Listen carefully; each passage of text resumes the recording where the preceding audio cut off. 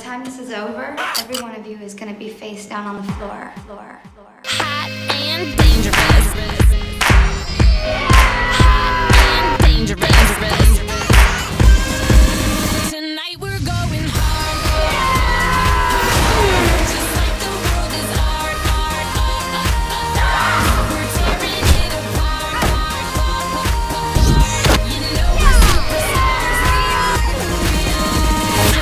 And that's kicking your ass.